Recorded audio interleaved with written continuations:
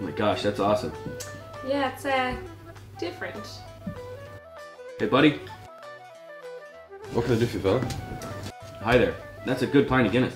Thanks for saying so. It's the best in the island. Isn't that right, Jamie? Yeah. Jamie says yes. Is there anything else I can get you? You wouldn't happen to have any of that Irish red lemonade, would you? Me and my wife Sarah have been traveling around Ireland, and we got a list of things we want to do. Trying a pint of Guinness was one of them. Trying a glass of the famous Irish red lemonade is the next. Red lemonade it is. It's pure Irish, through and through. Sounds awesome. Can I have a glass?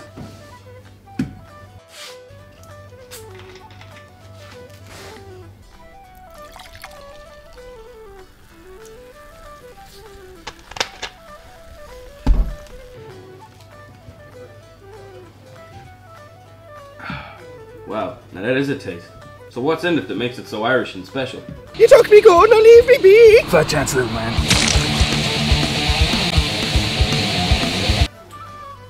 Stuff. Andy Williams.